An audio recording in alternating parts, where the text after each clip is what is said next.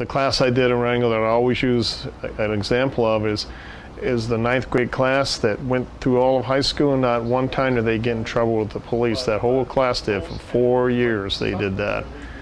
So the fact that we're not responding to juvenile crime has a big impact on not draining your resources on those kind of crimes that you can spend more time or time doing other things as police officers.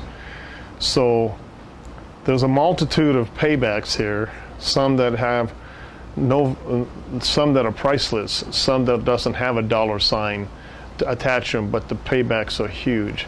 And I think the fact that we have a relationship with our children from the police world, and we have uh, a place to go to if they need help, and they can know that they can go there without being afraid of the police.